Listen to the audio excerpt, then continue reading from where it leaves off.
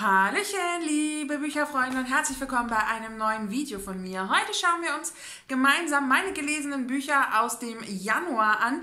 Insgesamt habe ich 17 Bücher äh, gelesen, was ja definitiv mehr war, als bei mir eingezogen ist. Und ich habe 5050 Seiten gelesen. Ich hatte im Januar auch zwei Wochen Urlaub, war davon ja auch knapp 10, 11 Tage unterwegs und lag am Strand und habe da wirklich wunderbar ein paar Bücher weggelesen, sagen wir es mal so. Ich komme auf eine durchschnittliche Seitenzahl von 163 äh, pro Tag. Das finde ich auch ganz äh, fein. Man merkt natürlich schon, dass der Urlaub mit drin war und da einfach auch manchmal einfach ein Buch so an einem Tag gelesen wurde. Ich habe fünf haptische Bücher gelesen, sieben E-Books und fünf Hörbücher. Das heißt, der Vorsatz so 50-50 ist hier mehr als eingehalten worden. Äh, und tatsächlich waren die vier, also vier der fünf haptischen Bücher äh, tatsächlich die, die ich dann auch im Urlaub mit dabei hatte. Ich hatte, habe zwei abgebrochene Bücher und zwei, vier, sieben Highlights. Finde ich richtig, richtig gut. Ich tracke ja jetzt auch so ein bisschen die Hörzeit äh, mit und bin da am Jahresende sehr, sehr gespannt, was da bei den Hörbüchern ein bisschen zusammenkommt. Ja, 17 Bücher. Ich denke, wir starten jetzt einfach mal äh, ja, mit den einzelnen Büchern. Ich verlinke euch die unten in der Infobox. Sollte euch da einfach irgendwas zu dem Buch interessieren, guckt da super gerne mal vorbei. Das Jahr begann mit einem Reread von Hermann Hesses Siddhartha, ein Buch, das ich bestimmt schon vier, fünf, wenn nicht gar jetzt zum sechsten Mal äh, gelesen habe. Ein Highlight-Buch, das ich immer wieder faszinierend finde, immer wieder spannend finde, immer wieder andere Seiten entdecke. Äh, Hermann Hesse ja, hat ja hier eine indische Dichtung äh, verfasst und die Geschichte von Siddhartha erzählt, einem jungen Mann, der die Erleuchtung finden möchte, sich auf dem Weg begibt, ähm, ja, als Mönch lebt, dann aber auch verschiedene Wendungen in seinem Leben hat und äh, ja, uns dann eben zeigt, ähm, ja, wie Erleuchtung aussehen könnte, wie wir annehmen, dass es ist und wie es dann vielleicht wirklich sein wird. Äh, Hermann Hesse hat hier wirklich ähm, einen Meilenstein für mich äh, vor ja, über 20 Jahren geschrieben. Ich habe das Buch zum ersten Mal mit 15 oder 16 äh, gelesen, also auf jeden Fall vor dem Schulabschluss. Ich glaube sogar in der Schule. Und dieses Buch hat mir den Weg eröffnet Richtung Buddhismus, Meditation und äh, ja, der Erleuchtung. Das klingt so ein bisschen komisch. Und ich fand das damals super spannend, sodass ich äh, weitere Bücher in diese Richtung gelesen habe und ja auch mein Zugang, äh, wenn es um Religionen geht, wobei ich beim Buddhismus ja immer sage, es ist für mich eher eine Philosophie als eine Religion, ähm, hat er hier definitiv eröffnet. Und ich habe das Buch, ich glaube wirklich immer so alle fünf, sechs Jahre äh, mal wieder gelesen und entdecke immer immer wieder kleine, feine Nuancen, die mich äh, sehr begeistern und so auch äh, diesmal. Es ist für mich ein Highlight, es bleibt ein Highlight, es hat mich sehr überzeugt. Es ist ein kleines, kurzes Werk, was aber sprachlich äh, wirklich schon herausfordernd ist, eben durch diese besondere Form des Erzählens, durch die doch zum Teil sehr langen und verschachtelten Sätze, wo man vielleicht doch manchmal zweimal hinschauen muss und möchte, um es einfach aufzunehmen, um es ja greifen zu können. Aber ich finde das immer wieder toll. Ich mag diese kleine Herausforderung, weil ich ja das Buch auch einfach schon kenne. Und ich mag es, so Bücher, die man als junger Mensch gelesen hat, nochmal zu lesen und ja, manchmal man das Buch dann wieder mit den Augen sieht, wie man eben es zum ersten Mal gelesen hat. Versteht ihr hoffentlich, wie ich das meine? Und das habe ich bei diesem Buch äh, sehr, sehr häufig. Es gibt so eine Handvoll Bücher, äh, bei denen ich noch genau weiß, wie ich mich gefühlt habe, als ich es vor 10, 20, 25 Jahren gelesen habe. Und so ist das bei Hermann Hesse Siddhartha auf jeden Fall auch. Dann ein Buchtipp äh, von Thorsten in unserem letzten Kingsianer Hangout war Warten auf Bojangles von Olivier Bordeaux. Ich hoffe, wir sprechen ihn so aus. War ein recht kurzes Guthaben, was gerade noch bei Bookbeat äh, für mich gepasst hat. Ich hatte ja mal wieder einen Probemonat, der ist mir so kurz vor Weihnachten oder ja so Anfang Dezember angeboten worden und ich hatte noch ein paar Stunden. Ich glaube, das waren jetzt ein bisschen keine vier Stunden Stunden. Ich glaube, es waren noch so dreieinhalb. Und das hat noch gut in mein Kontingent äh, gepasst. Und es wird äh, gesprochen von August Ziemer, Zirner, Zimmer, Zirner und Robert Stadelober. Das ist ja ein Schauspieler, der durchaus auch bekannt ist. Ich fand beide Sprecher auf jeden Fall sehr gut. Sie haben die Charaktere sehr gut auch herausgearbeitet und gesprochen. Ähm, ich finde, dass das durchaus auch ein bisschen Lob bedarf, wenn es denn Lob gibt. Äh, wir haben hier einen namenlosen Erzähler, der so ja, mit den verrückten Eigenarten seiner Eltern aufwächst und uns eben auch von diesen erzählt. Äh, sein Vater liebt äh, seine Mutter wirklich sehr und das ähm, betont er auch immer wieder, äh, wie schön er das findet mit anzusehen und äh, es ist auch ganz lustig, dass er sie nie länger als zwei, drei Tage mit dem gleichen Namen anspricht. Es gibt auch jeden Tag Cocktails und Feste und Feiern und in den Ferien baut man eben auch mal ein, ein, ein Wolkenschluss und fährt nach Spanien und ähm, ja, spinnt da im Grunde so ein bisschen ein, ein sehr ja, besonderes äh, Leben. Die Mutter ist äh, sehr extravagant unterwegs und äh, sie erzählt auch sehr fantasievolle Geschichten, die uns eben auch unser Erzähler äh, wiedergibt und eben auch seine Verbindung zu seinen Eltern beschreibt. Ähm, allerdings setzt sie dann irgendwann die Wohnung in Brand und ähm, es gibt auch eine sehr unf erfreuliche Diagnose von Ärzten, äh, die eben ihr dann auch zu einer Therapie raten und ähm, ja, merken aber doch recht alle schnell in der Familie, dass eben, wenn sich die Mutter verändern würde, dass, dass das ganze Leben von allen, von der Familie verändern und vielleicht sogar zerstören würde. Es ist eine ja, sehr liebevoll erzählte Geschichte mit verrückten und auch traurigen Erlebnissen. Es ist sprachlich sehr leicht und ähm, es war mir an mancher Stelle aber zu banal. Ich würde jetzt nicht sagen, dass es langweilig war. Es war so tatsächlich okay. Also ich hatte mir ein bisschen mehr erwartet, gerade wie äh, Thorsten davon geschwärmt hat. Ähm, ich fand es okay. Als, als Hörbuch war es durchaus, weil es eben auch erzählt wurde, war es wirklich auch angenehm, dem äh, zu folgen. Ähm, ich mochte die liebenswerten Weisheiten sehr gerne, die auch einen so ein bisschen zum Nachdenken angeregt haben und eben auch einen so ein bisschen mitfühlen haben lassen. Das fand ich richtig schön, wie emotional äh, das erzählt wurde. Besonders auch diese Leichtigkeit der Eltern. Das fand ich sehr schön gezeigt. Ähm, es war sehr locker und durch diese Verrücktheiten, wo man manchmal selbst merkt, wie, wie festgefahren man vielleicht in manchen Dingen oder Gedanken oder Einstellungen in seinem Leben ist. Ähm, die erste Hälfte war ein wenig banal, da habe ich mir schon gedacht, ja, in welche Richtung geht das jetzt, weil auch der Weg nicht so klar war. Es war dann aber so einem gewissen Punkt, was ihm passiert, sehr emotional und mich hat das Ende dann doch berühren können. Das war mir aber dann fast zu viel. Also was am Anfang an Gefühl gefehlt hat, war am Ende zu viel. Und es war mir manchmal auch zu sehr schwarz-weiß. Denn entweder war man irgendwie ein Spießer, dann hatte man auch ein erbärmliches Leben und irgendwie war alles langweilig und öde, oder man war eben so ein bisschen, ich sage jetzt mal überspitzt geisteskrank und dann hat man eine coole Zeit. Und das war mir an mancher Stelle zu ohne Graunuancen, denn das eine schließt am Ende das andere nicht unbedingt auf. Ich fand auch das Krankenbild, ähm, was da gezeigt wurde von der Mutter, ach, nicht ganz so einfach dargestellt, beziehungsweise wurde es sich zu einfach gemacht. Ähm, was ich aber wirklich gut fand, war der Perspektivwechsel der beiden, nicht nur sprachlich und stimmlich in dem Hörbuch, sondern auch, wie die im Grunde uns diese Geschichte erzählt haben. Man hat da einen Unterschied gemerkt, wer uns was erzählte und das mag ich in Büchern ja richtig, richtig gerne und so ähm, ja, fand ich eben die Sprecher auch sehr gut. Ja, alles in allem eher ein okay Buch und ähm, man kann es äh, gehört oder gelesen haben, aber es ist oder war für mich definitiv kein Highlight und auch kein Must-Read. Dann habe ich mich auf den Weg in den Urlaub begeben und habe Der letzte Bär von Hannah Gold äh, gehört im Flieger.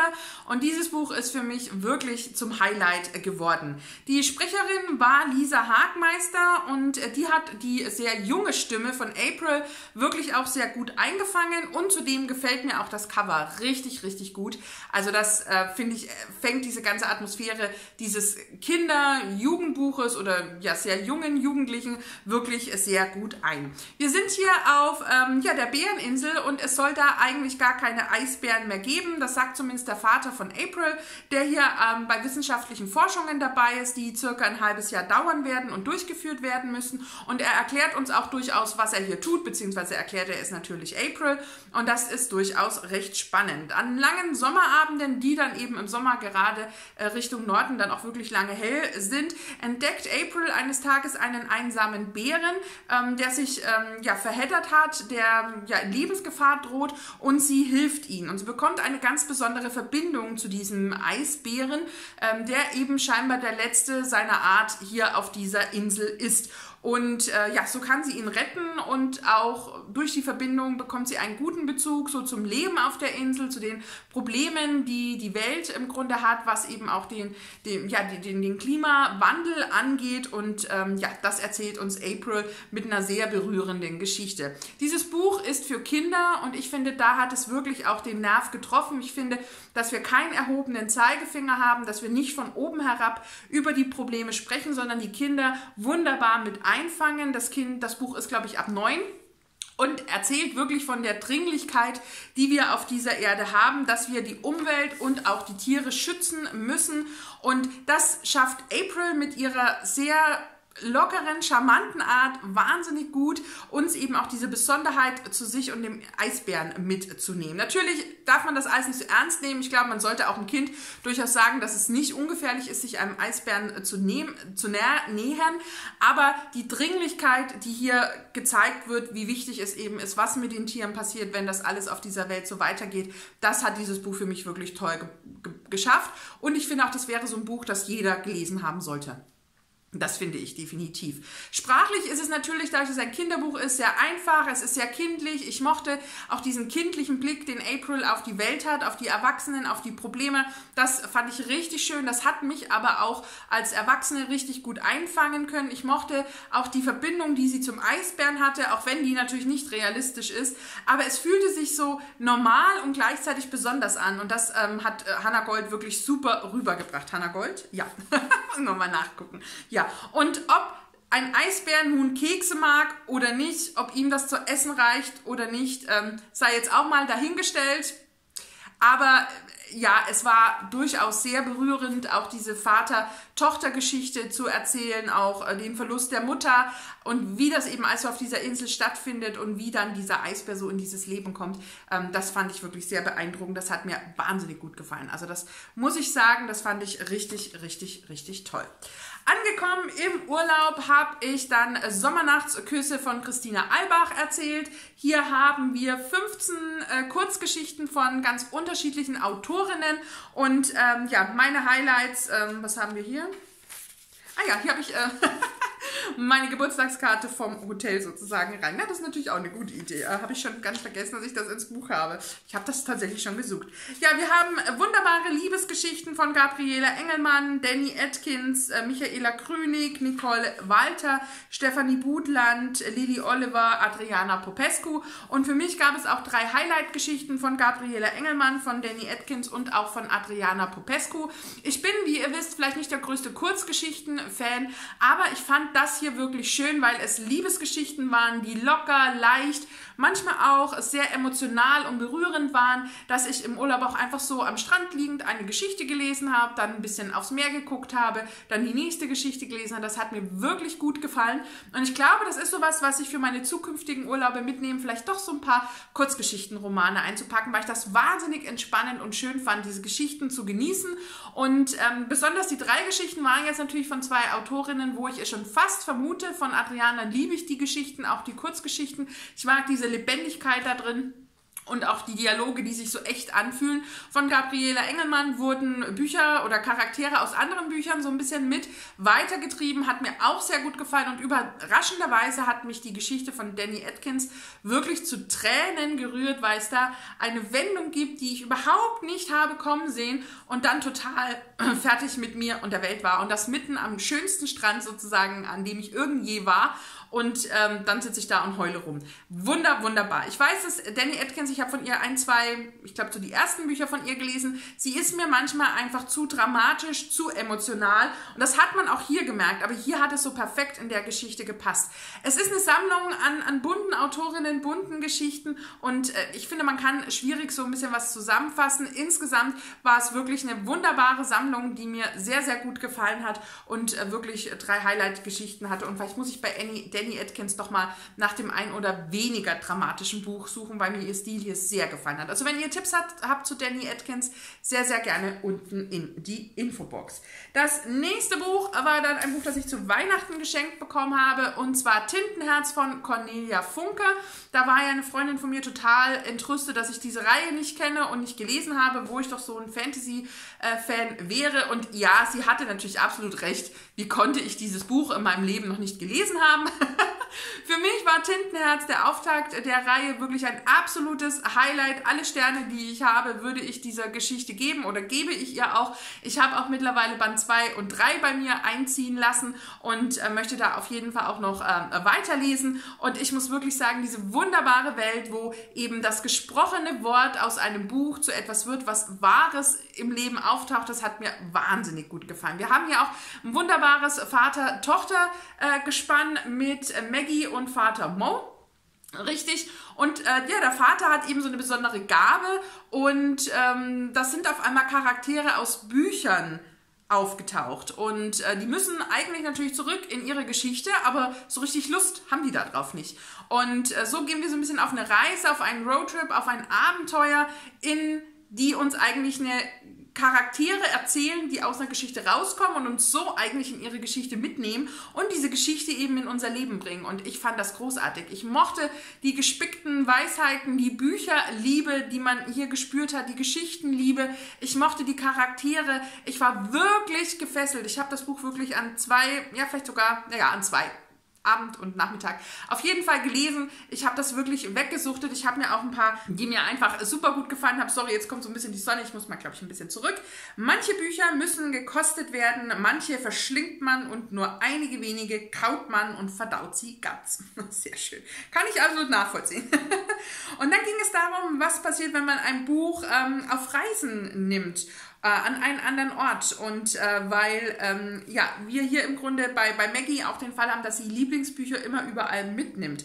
Und dann ähm, erklärte ihr Vater, wenn du ein Buch auf eine Reise mitnimmst, dann geschieht etwas Seltsames. Das Buch wird anfangen, deine Erinnerungen zu sammeln. Du wirst es später nur aufschlagen müssen und schon wirst du wieder dort sein, wo du zuerst darin gelesen hast. Schon mit den ersten Wörtern wird alles zurückkommen. Die Bilder, die Gerüche, das Eis, das du beim Lesen gegessen hast. Glaub mir, Bücher sind wie Fliegenpapier. An nichts haften Erinnerungen so gut wie an bedruckten Seiten.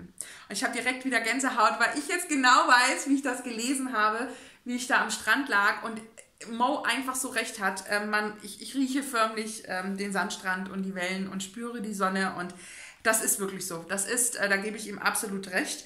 Und ähm, dann ging es hier um die äh, Bücherkiste, die sehr schwer ist äh, von Maggie. Und dann antwortet sie ihrem Vater, du sagst es doch selbst immer, Bücher müssen schwer sein, weil die ganze Welt in ihnen steckt. Ja, wunder, wunderschön, tolle Jugend-Fantasy, so eine Urban-Fantasy, wo wir eben einfach eigentlich so in unserer Welt sind, aber da eben was dazukommt, uns eine märchenhafte Geschichte erzählt wird. Und ich bin so, so, so gespannt, wo diese Geschichte weiter hingeht, ähm, welche Rollen da im Grunde auch noch eine Rolle spielen werden, welche Charaktere dort eine Rolle spielen werden. Von mir wirklich ähm, fünf Sterne, großes Highlight und äh, landet auf jeden Fall im Highlight-Regal auch gegenüber. Mir war nach Fantasy und ich habe ja im letzten Jahr schon äh, festgestellt, dass Fantasy für mich definitiv das Genre ist, das immer wieder am besten funktioniert. Und so wurde Prinz der Dunkelheit äh, gelesen von Mark Lawrence. War mal ein Buchtipp von der Booktuberin Larissas Library, über die ich irgendwie über das Rad der Zeit dann gestolpert bin. Und ich fand, dass diese Trilogie wahnsinnig gut klingt und sie war es auch. Auch hier ist der zweite Teil schon äh, bei mir eingezogen, weil ich so fasziniert war von York, der uns hier seine Geschichte erzählt, der eigentlich der Antagonist der Geschichte ist. Also er ist böse, er ist brutal, er will Rache, denn man hat etwas ganz Schlimmes mit äh, seiner Mutter und seinen Brüdern gemacht. Sein Vater interessiert das alles nicht, das ist der König dieses Landes und äh, so verschwindet er, als er 13, 14 ist, lässt sich oder bildet sich im Grunde selbst aus zu einem Kämpfer und sinnt nach Rache und wird dann eben der Prinz der Dornen so wie diese Reihe eigentlich heißt. Äh, und ich verstehe gar nicht, wie man von Dornen auf Dunkelheit kommt. Vor allem, weil uns hier zwei, dreimal genau erzählt wird, warum Jorge oder York der Prinz der Dornen ist und nicht der Dunkelheit. Ich verstehe das manchmal nicht mit den deutschen Übersetzungen, aber sei es drum. Egal ob Prinz der Dunkelheit oder Prinz der Dornen, es ist wirklich ähm, Dark Fantasy, es ist einfach großartig. Also wer Nevernight mochte, der wird hier seinen Spaß haben. Wer wirklich so düstere Charaktere möchte, wer Rache mag, wer nichts gegen ein wenig Blut hat und Brutalität und wer wirklich eigentlich so ein bisschen dem Bösewicht über die Schulter schauen möchte, der ist hier absolut richtig. Und das hat wahnsinnig viel Spaß gemacht. Ja, es war mir an mancher Stelle vielleicht zu brutal, ähm, aber ich lag ja am Strand und wusste, ich bin in Sicherheit.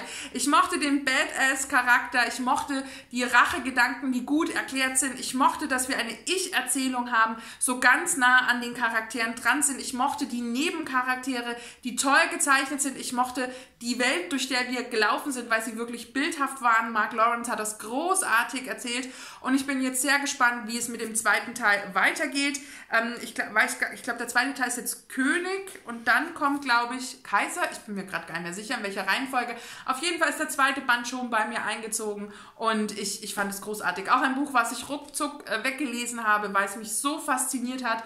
Und äh, ja, also ich ähm, auch von hier, ja, wirklich absolutes Highlight. Hat mich sehr gefreut, dass ich das dabei hatte. Und das letzte haptische Buch im Urlaub, ähm, war dann Das Tier meines Lebens von Ilka Piepgras.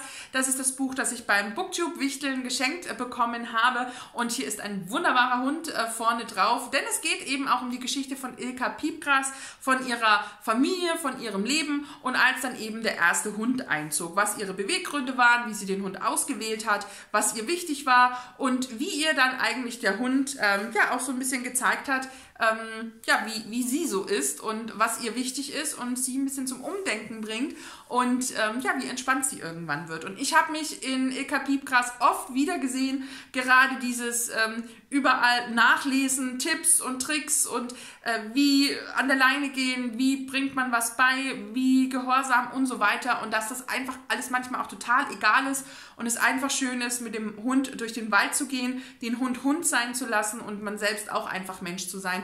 Und ich habe mich sehr oft wiedererkannt, es hat mir wahnsinnig gut gefallen, das zu lesen. Ich mochte es sehr, wie sie uns in ihr Leben mitgenommen hat, wie sie uns ihre Gedanken erzählt hat, äh, dass eben auch alles nicht immer nur Friede, Freude und, und Sonnenschein ist. Das fand ich richtig, richtig toll gezeichnet und richtig schön. Ähm, mir war es manchmal so ein bisschen zu viel Ilka Piepgras und zu wenig Ilka Piepgras und ihr Hund. Es hat manchmal für mich so Züge gehabt, die schon sehr therapeutisch waren. Aber es hat mir wahnsinnig gut gefallen. Ich hatte sehr viel Spaß. Ähm, das war so ein bisschen der kleine Kritikpunkt vielleicht, dass es nicht ganz so zum Highlight äh, gereicht hat. Aber ich äh, fand es richtig schön und es wird definitiv auch einen Platz in meinem Regal äh, finden, weil es mich wahnsinnig gut unterhalten hat und weil eben so viel Wahres über Tier-Mensch, Hund-Mensch-Beziehungen hier drin steht, wo ich denke, ja, genau, genau so ist das und manchmal muss man das auch, glaube ich, einfach dann nachlesen. Und das mit der Sonne wird gefühlt nicht besser. Wenn ich jetzt aber zurückgehe, muss ich euch vielleicht einen Hauch einfach mitnehmen. ja, dann sind die haptischen Bücher ausgegangen und ich stand vor dem großen, großen Problem, äh, ja, was lese ich denn jetzt nur? Denn ich hatte natürlich meinen E-Book-Reader dabei und auch zig Hörbücher natürlich auf dem Smartphone und stand dann wirklich vor dieser E-Book-Bibliothek und dachte, hm, das hast du dir irgendwie einfacher vorgestellt. Und dann habe ich zu City of Ghosts 3 gegriffen, der Bote aus der Dunkelheit von Victoria Schwab. Ich habe ja Band 1 und 2 sehr, sehr gefeiert. Ich bin ein großer Fan dieser Geschichte, wo wir äh, ja, Cassidy haben, die äh, vor kurzem äh, fast gestorben wäre und ertrunken wäre. Ein Geist sie aber dann gerettet hat und seitdem ist sie mit dem Geist in Verbindung und kann ihn hören und zu Teilen auch sehen. Und äh, sie hat auf einmal auch einen Zugang durch den Schleier eben zum Totenreich. Und äh, sie hat äh, ja so ein bisschen Eltern, die auf dem paranormalen Trip auch unterwegs sind. Gerade ihre Mutter glaubt auch an Geister, der Vater ist ein bisschen wissenschaftlicher unterwegs. Und wir begeben uns eben äh, erst nach Schottland und dann nach Paris. Und im dritten Teil sind wir in New Orleans. Und das hat natürlich wahnsinnig gut gepasst. Wir haben eine alte Stadt, ähm, die sehr wichtig auch einfach ist für die Geschichte, was so das Voodoo-Okkulte ein bisschen in den USA angeht. Und ich möchte gar nicht zu viel spoilern, weil man erzählt natürlich schon viel, was so in den Vorbänden erzählt, dass es, dass es eine Aufgabe gibt, die Cassidy erfüllen Sie nimmt muss. uns eben auf diese Reise auch einfach so ein bisschen mit. Und ich, ich mag den Stil von Victoria Schwab wahnsinnig gerne. Bei Victoria Schwab ist das ja so, dass sie eher das Jugendbuchmäßige schreibt, während ja B.I. Schwab durchaus in der Erwachsenenliteratur unterwegs ist und ich mag beides wahnsinnig gerne. Ich freue mich schon, dass äh, Garland jetzt übersetzt wird, ein Buch, was ich eigentlich schon mir in Englisch geholt habe, jetzt aber freue, dass es in Deutsch kommt. Und auch der dritte Teil hat mich begeistert und ich war wirklich, also ich finde es einfach faszinierend. Natürlich ist es vom, von der Länge auch gar kein so dickes Buch äh, gewesen, ich glaube knapp so 300 Seiten, aber man liest das so weg, man ist so in dieser Welt. Wir waren in New Orleans, wir haben eine Aufgabe, wir erleben Dinge und es war richtig, richtig toll. Also wirklich bisher eine Reihe, die ich wirklich sehr, sehr feiere. Ich fand jetzt nicht, dass der dritte Teil so abschließend gewirkt hat. Ich glaube schon, dass sich Victoria Schwab ein anderes Ende einfallen lassen würde, was so die Reihe beendet. Deswegen denke ich schon, es könnte noch mal zu einem vierten Band kommen. Aber man kann im Grunde schon die Geschichten ein bisschen unabhängig voneinander lesen, aber der Aufbau so der Freundschaften und Ähnlichem, das macht natürlich Sinn, das auch in der richtigen Reihe zu machen. Dann kommen wir zu Schreiben ist Gold von Anna Hanna Buiting, ein Buch, das ich ähm, als ähm, Rezensionsexemplar bekommen habe. Das ist übrigens auch immer unten in der Infobox alles so gekennzeichnet. Ich fand es super spannend, weil ich mir gerne so ein paar Schreibimpulse holen wurde, wollte äh, in diese Richtung, ja, Morgenseiten, Dankbarkeit, ähm, wie schreibt man vielleicht auch einfach Dinge mal so ein bisschen nieder.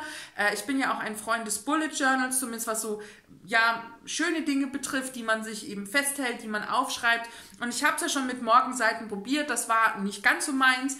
Ähm, ich weiß aber, dass das vielen sehr gut tut und es da ja wirklich auch so eine Gemeinschaft gibt, die das ja regelmäßig macht. Auch eine liebe Freundin von mir ähm, ist da großer Fan von und, und erzählt mir immer, wie positiv äh, das äh, ihr Leben auch bereichert. Und ich dachte, das bekommt man hier. Nein, das bekommt man nicht. Eigentlich bekommt man die Geschichte von Hannah Buiting, die erzählt, wie sie zum Schreiben kam, als Kind, als Jugendliche, ihre ersten Kurzgeschichten, erste Gedichte, ersten Tagebücher, ähm, was sie da so ein bisschen draus macht, wie sie zum Schreiben kam, dass sie Schreibkurse in einer gewissen Art auch gibt und Schreibratgeber im Grunde schreibt. Und sie erzählt uns eigentlich ihren Werdegang und ähm, gibt uns aber keine Impulse, so richtig, ähm, ja, hilft das irgendwie? ja, so ein bisschen. Gibt uns aber ähm, keine Impulse in diese Richtung. Ähm, vielleicht sollte ich den Rollo runter machen. Nein, ich glaube, ihr werdet das bestimmt ertragen mit äh, der Sonne im Gesicht. Ähm, und das fand ich wahnsinnig schade. Also für mich wirklich ein ähm, nicht so gutes Buch. Es war so eher okay. Es hatte auch noch so den ein oder anderen sehr christlich-religiösen Zug, äh, was auch so das Thema Beten und Gott angeht. Und das habe ich einfach überhaupt nicht von diesem Buch erwartet. Dafür kann jetzt natürlich das Buch nichts und auch nicht die Autorin. Aber ich, also spätestens als sie dann Gott mit einem Gender-Sternchen geschrieben hat, habe ich gedacht, wie weit geht ähm, meine Toleranz und mein Kampf für eine Gleichberechtigung auf dieser Welt. Ah, es war manchmal ein bisschen schwierig. Also es ja, war nicht so richtig mein Buch und äh, wer hier Schreibimpulse, Schreibtipps irgendwie gesucht hat, der hat die definitiv nicht gefunden. Dann kam es leider zu einem Abbruch und ich war, ach ja, also irgendwie dachte ich, das ist gar nicht mich so überrascht, aber ich fand es trotzdem schade. Und zwar das neue Buch von Holly Black, und zwar Book of Night. Ich habe ja auch letztens ein Buch von Holly Black gelesen, was ich auch abgebrochen habe. Und ich werde einfach mit Holly Black nicht warm. Ich konnte der Story kaum irgendwie so richtig folgen. Ich habe mich die ganze Zeit gefragt, wo bin ich und wo gehe ich hin? Wir haben zwar eine Fantasy-Welt, aber ich komme mit dem Schreibstil von Holly Black einfach nicht klar. Ich habe das Buch gefühlt auch schon wieder komplett verdrängt. Ich habe mich wirklich, ja, ich habe mich nicht wiedergefunden. Ich fand, ich, ich finde, vielleicht liegt vielleicht es auch an der Übersetzung. Das will ich ähm, gar nicht irgendwie ja, ich komme nicht zurecht. Ich kam nicht in die Geschichte rein, ich habe keinen Zugang zu den Charakteren gefunden und ich, ich, ich, ja, ich habe nach 80 Seiten ich weiß gar nicht, ob das 20 Prozent waren, habe ich es abgebrochen und dachte, gut, Holly Black und ich, das wird wohl einfach nichts. Und ähm, ja, ich glaube, mehr, mehr fällt mir auch gar nicht ein. Ich glaube, mehr muss man zu einem Abbruchbuch auch gar nicht sagen. Weiter ging es dann mit Die Katzen von Shinjuku von Durian Tsukegawa. Ein japanisches Buch, was ich... Ähm, ja auch als E-Book, als Rezensionsexemplar bekommen habe. Und ich bin ja sehr gerne in der japanischen Literatur unterwegs und habe mich hier auf eine Katzengeschichte gefreut. Es ist leider keine Katzengeschichte. Ich finde schon, dass der Titel und das Cover, was ja wirklich wunderschön ist, schon etwas anderes auch erwarten lässt. Äh, nichtsdestotrotz hat mir die Geschichte rund um die Katzen von äh, Shinjuku doch sehr gefallen. Auch wenn es schon eher eine tragische Lebensgeschichte ist von zwei m, Charakteren, die sich, ähm, ja, die mit ihrem Leben nicht ganz zufrieden sind, wo einiges nicht so richtig rund läuft, wo Probleme sind und äh, wir gerade hier auch einen jungen Mann haben, der ja nicht so richtig weiß mit seinem Leben, wo geht das hin, wofür das alles, ja, wofür macht er das alles? und die sich im Grunde finden, sich anfreunden und dann aber doch wieder Dinge passieren, die das Leben eben nicht zu einem Happy End äh, bringen und auch eben aufzeigen, dass das Leben nicht immer schön und einfach ist.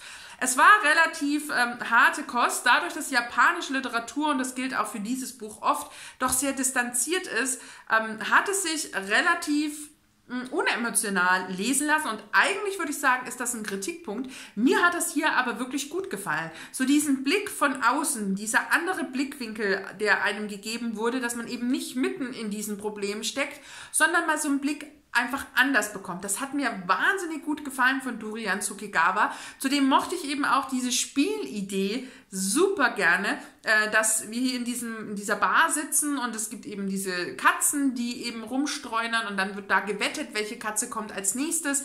Und ich mochte dieses Trüppchen in, diesem, in dieser Kneipe super gerne. Ich mochte, wie uns Durian Tsukigawa eben auch die Geschichte erzählt von, was es bedeutet, sich Quizfragen für eine Show ausdenken zu müssen. Und äh, weil das unser Protagonist eben auch macht, der, der arbeitet eben für Shows, für einen Agenten für Shows, sagen wir es mal so.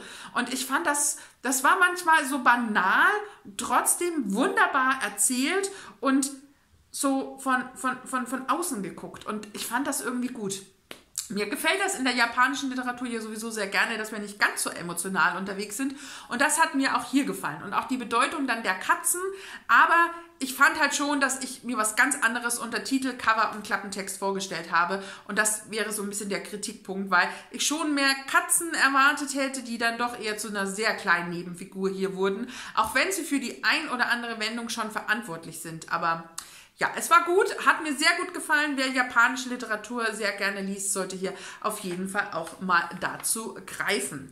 Dann habe ich auch als E-Book gelesen The Mountain is You von Brianna Wiest. Ich habe von der Autorin 101 Essays über das Leben als Hörbuch noch auf dem Sub, habe dieses Buch als ähm, Rezensionsexemplar erhalten und äh, war hier tatsächlich ähm, doch ganz angetan von der Geschichte äh, oder von der Idee, sagen wir es mal so. Von der Idee war ich angetan, dass man eben sagt, was ähm, blockiert man sich eben oft selbst, dass man ganz oft das eigene Problem sozusagen ist, dass ähm, man Ideen verfolgen würde, Dinge in die Tat setzen würde, wenn man nicht selbst sein eigener Korrumpeur wäre. Ist das das richtige Wort? Also wenn man sich selbst im Wege steht. Und dazu zähle ich definitiv nicht. Und äh, ich habe mich schon gefragt, als dieses Buch so vier, fünf Mal in meiner Bubble irgendwo auftauchte, was will mir äh, der Algorithmus sagen? Gibt es da vielleicht doch etwas, was ich bei mir selbst mir anschauen müsste. Und ich habe aber recht schnell in dem Buch gemerkt, nein, ich bin damit definitiv nicht gemeint. Ich stehe mir sehr selten selbst im Weg und äh, eher sind meine Träume einfach zu groß und zu weit und äh, zu, zu, zu langfristig, als dass man sie immer so direkt in die Tat umsetzen könnte. Ich mochte die Ansätze von Brianna West ganz gerne. Ich mochte aber nicht, wie das Buch aufgebaut ist. Ich fand, es war manchmal wirklich so, dass es einen Tipp gab, dann war eine Seite kurz was beschrieben und dann sind wir weitergegangen. Die Tipps haben sich auch irgendwie wiederholt. Es war wenig Neues, es gab so den einen oder anderen Impuls, aber die Beispiele waren einfach nicht herausgearbeitet, sodass man wirklich sehr speziell in so ein Thema gegangen ist und da dann gar nicht irgendwie greifen konnte, was eigentlich das Problem ist, wo diese Selbstsabotage anfängt. Und ja, ich habe dann zeitweise auch mal so ein bisschen einfach nur grob drüber gelesen, habe mir nur die Dinge durchgelesen, die so von der Überschrift spannend waren. Es war eher enttäuschend, weil ich doch ein bisschen was anderes hm, gesucht habe. Ich dachte, auch wenn ich nicht zu, zu Selbstsabotage neige, hilft es vielleicht auch für die Zukunft gar nicht in, dieses, in diesen Strudel zu kommen. Ach, ich weiß nicht. Also dieses Buch war leider nicht so für mich. Das spricht jetzt auch so ein bisschen gegen ihr anderes Buch mit den 101 Essays, obwohl Vielleicht ist es vom Thema doch ein bisschen anders. Da muss ich mal gucken, ob ich noch dazu greife zu dem E-Book, weil ich meine, auf dem Sub liegt es ja. Äh, vielleicht kennt ihr das Buch ja auch dann natürlich auch sehr gerne in den Kommentaren, gerne ein bisschen schwärmen. Aber ja, konnte mich leider nicht begeistern. Anders dann das nächste Hörbuch, ein kleines Stück von Afrika von Christina Ray. Das ist der Auftakt, Auftakt ihrer Reihe und äh, hat den Untertitel Aufbruch. Und es wird gesprochen von Irina Scholz und ähm, ihre Stimme fand ich okay. Sie wirkte manchmal sehr hektisch. Und das, obwohl ich hier gar keine, also ich hatte, ich höre Hörbücher immer ein bisschen schneller, aber hatte hier eine normale Geschwindigkeit und trotzdem wirkte sie immer sehr schnell so zum Punkt kommend. Ähm, aber alles in allem war es durchaus auch ähm, sehr gerne zum Hören und war für mich auch ein Highlight. Nicht nur, weil ich den Kopfhörer rechts hatte und das mehr links, sondern weil mir diese Geschichte, die in Kenia spielt, wirklich sehr, sehr gut gefallen hat. Äh, wir sind 1910 und treffen auf Ivory. Sie ist ein äh, junges äh, Mädchen, ähm, das zusammen mit ihrem Vater auf die auf Safari nach Kenia reist, obwohl jetzt eigentlich so Debü Debütantinnenzeit wäre. Auch ihre Schwester möchte debütieren, die ist ein bisschen älter und bleibt so eben Mutter, mit der Mutter dann zurück in England.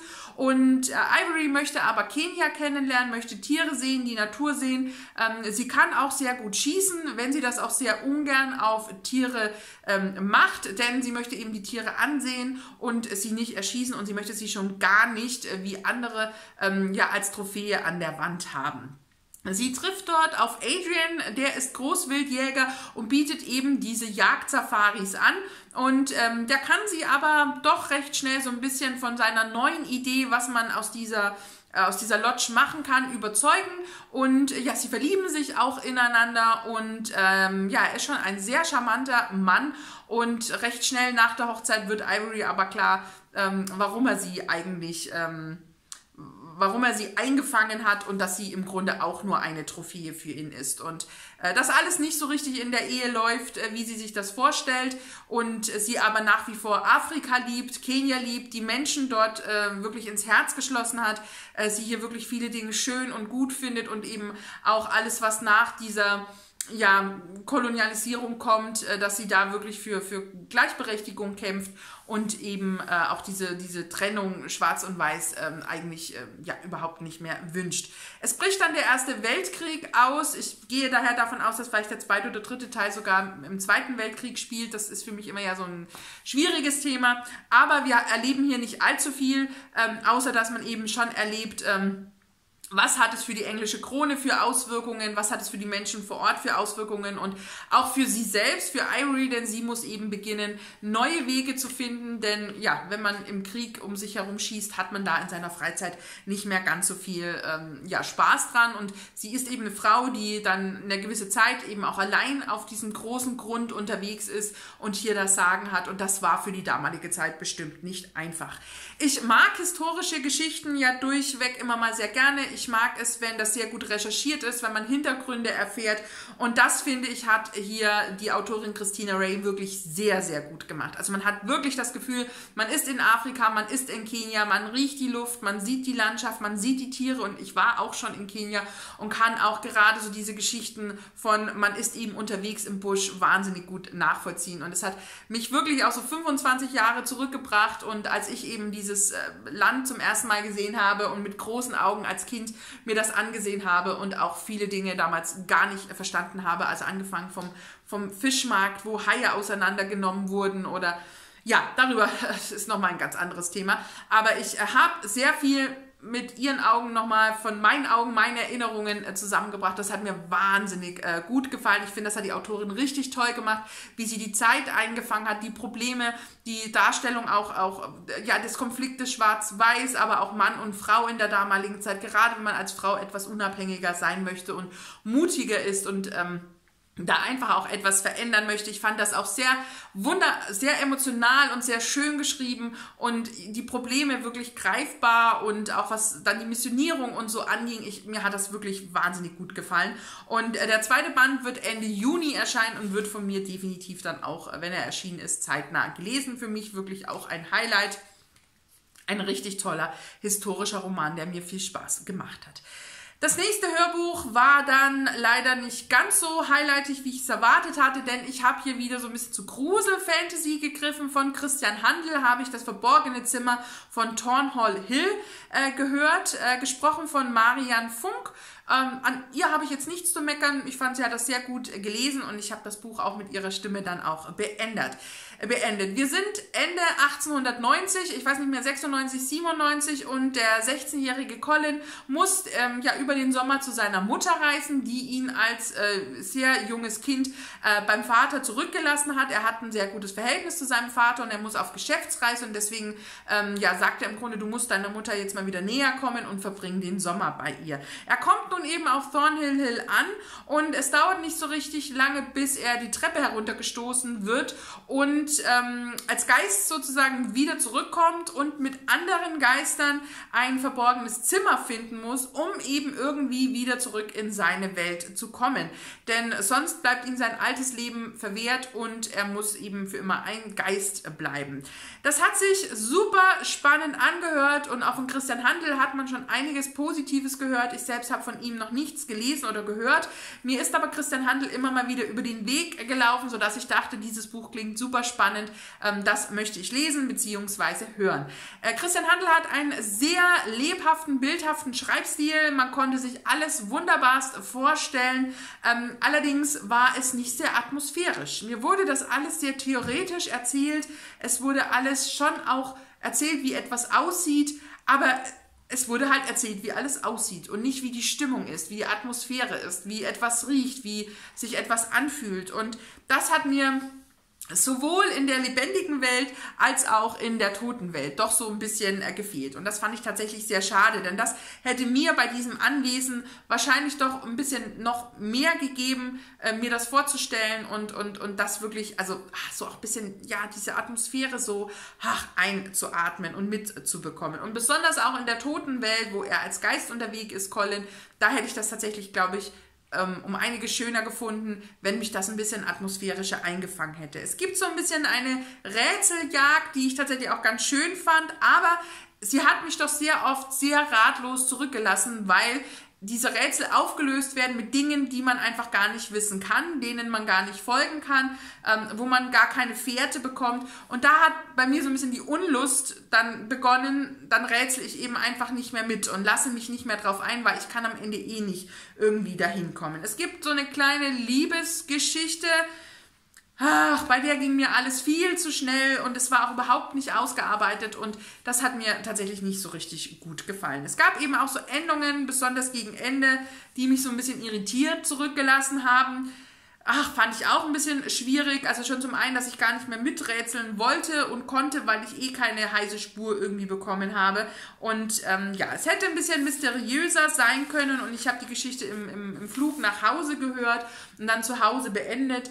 Ähm, ich glaube, hätte ich das Buch gelesen, wäre ich vielleicht nicht bis zum Ende gekommen, so hörend im Flugzeug, während man einfach so ein bisschen entspannt und, und nach draußen guckt, war es okay. Aber ich weiß nicht, ob ich von Christian Handel nochmal was lesen werde. Aber wenn ihr da ein Highlight-Buch von ihm habt, was vielleicht dem Buch jetzt nicht ganz so ähnlich kommt, was noch ein bisschen andere, anders ist, vielleicht atmosphärischer, dann könnt ihr mir das natürlich auch gerne sagen. Und dann kam ja ein Abbruchbuch, ach, das mir wirklich im Herzen wehtut, nämlich das neunte Haus von Leiba Dugu. Ja, wir sprechen von Leiba Dugo, die mich mit der Krischer-Welt total in den Bann gezogen hat. Die Krischer-Trilogie verschlungen, die Krähen-Dilogie verschlungen, die Nikolai-Dilogie, äh, erster Band war so ein bisschen, mh, mm, aber zweiter Band großartig. Ich die Graphic Novel zum Dunklen gefeiert habe und ich wirklich ein großer, großer Fan der Krischer-Welt bin. Und ich habe das neunte Haus gelesen und bin bis knapp Seite 150 gekommen und dachte, nein, nein, nein. Ha, ja, es ist jetzt ja auch im Januar der zweite Teil erschienen. Das war für mich der Anlass, jetzt den ersten Teil endlich zu lesen. Er war doch schon ein Weilchen auf dem Sub. Und ähm, wir haben hier eben ja Charaktere, die in Yale sind, die dort eben auch in so Wohngemeinschaften sind, wo eben auch Magie herrscht und das auch tatsächlich ganz normal ist. Und ich, ich, ich habe mich gefragt, was lese ich hier? Also es ist ganz anders wie alles, was wir aus Krisha kennen. Es war vom Stil anders, als wir Le Bardugo kennen. Und es ist natürlich schon Urban Fantasy mit, mit ein bisschen merkwürdigen Charakteren das, oder so schrulligen Charakteren. Das, das fand ich tatsächlich noch ganz schön. Aber es ist für mich überhaupt keine Spannung aufgekommen. Ich fand es wahnsinnig langweilig und habe mich die ganze Zeit gefragt, was lese ich hier? Was, was bedeutet das? Wo geht das hin? Und ich fand es einfach nur langweilig. Und nach 150 Seiten dachte ich, ja, ich glaube, ich habe es einfach nicht verstanden. Vielleicht war ich zu Urlaubs äh, entspannt. Ich bin nicht reingekommen. Also wirklich schade, weil es mir gerade bei Leigh Bardugo wahnsinnig leid tut, ähm, weil sie für mich schon eine Autorin mit der Krischer-Welt ist, die mich wirklich sehr begeistert und äh, ja hat. Aber ach, das ging einfach nicht. Ja, dann war die Arbeit wieder angebrochen und ich habe mal wieder zu einem Hörbuch gegriffen, nämlich die Vorhersage von Niki Ehrlich. Und hier habe ich mich für das äh, Hörbuch entschieden, weil es gesprochen wird von Vanida Karun. Und die gehört definitiv zu meinen liebsten Sprecherinnen, die ich immer gerne höre, die man sonst schon eher wahrscheinlich auch aus Wohlfühlgeschichten kennt. Und äh, ja, die hat mir definitiv äh, ja, die Entscheidung abgenommen, ob ich es hören oder lesen möchte. Ähm, es geht hier darum, dass eines schönes Morgens, ich glaube, so beginnt gefühlt die Geschichte wirklich, finden alle Menschen, die volljährig sind, auf der Welt eine Holzbox vor ihrer Tür und darin befindet sich der Lebensfaden. Und der ist entweder kurz oder lang, je nachdem, wie lange man eben noch zu leben hat. Und der sagt einem eben auch so ganz grob, ja, wie lange man noch zu leben hat und wann man sterben wird.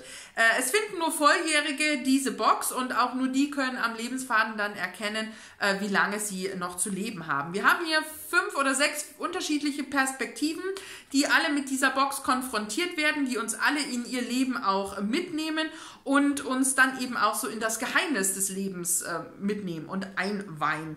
Ähm, natürlich ist es eine Geschichte, die die Frage stellt, was ist der Sinn des Lebens? Äh, was mache ich noch mit meinem Leben, wenn ich weiß, äh, wie lange ich äh, Zeit habe?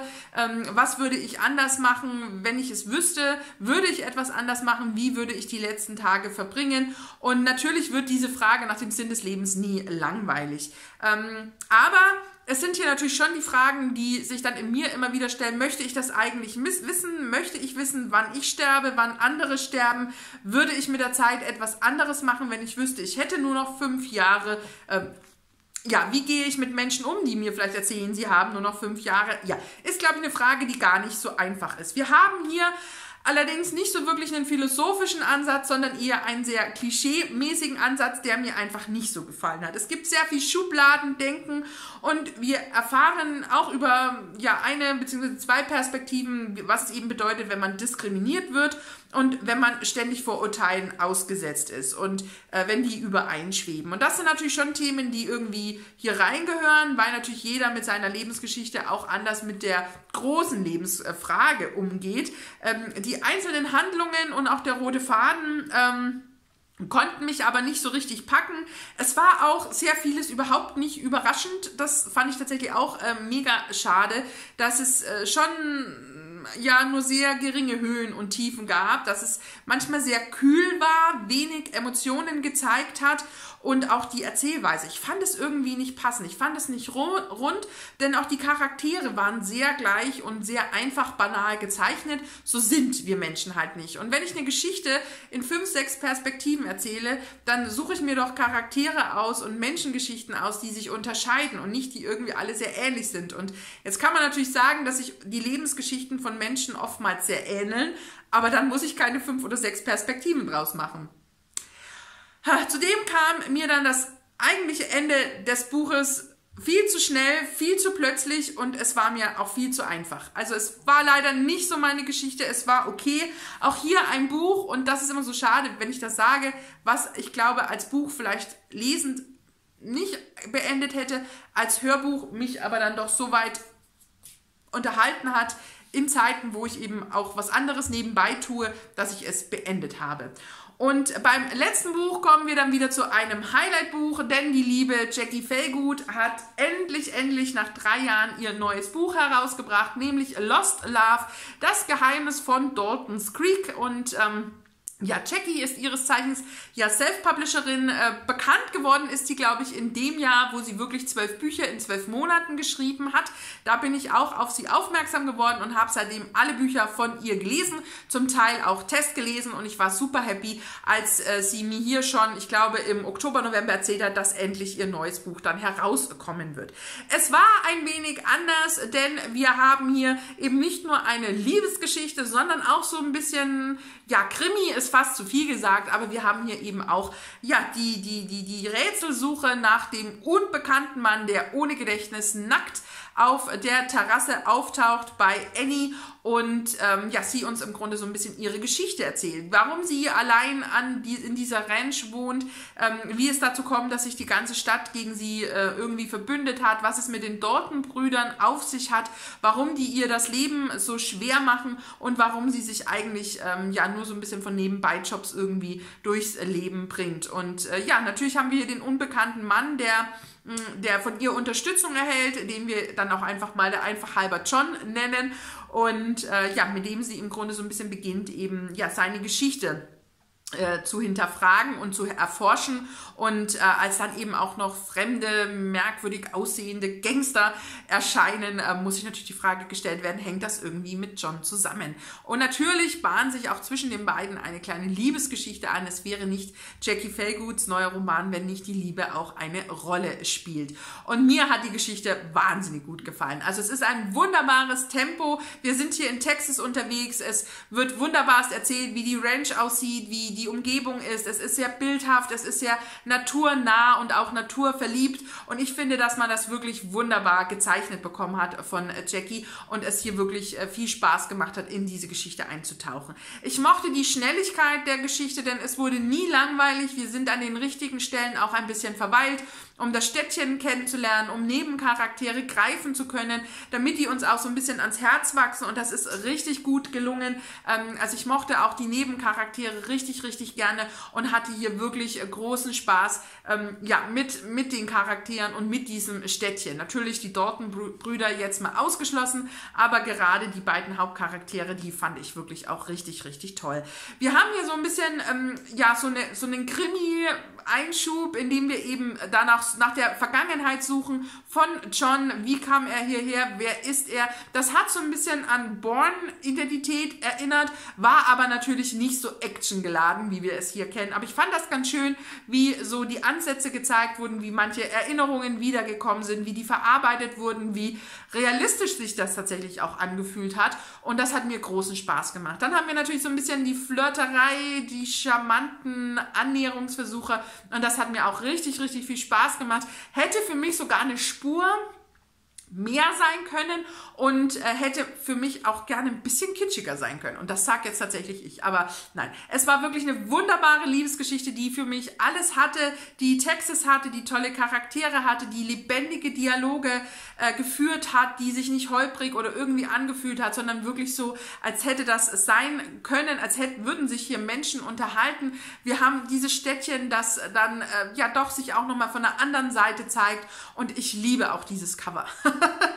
Wir sprechen selten über Cover, aber jetzt in diesem Video schon zum zweiten oder dritten Mal.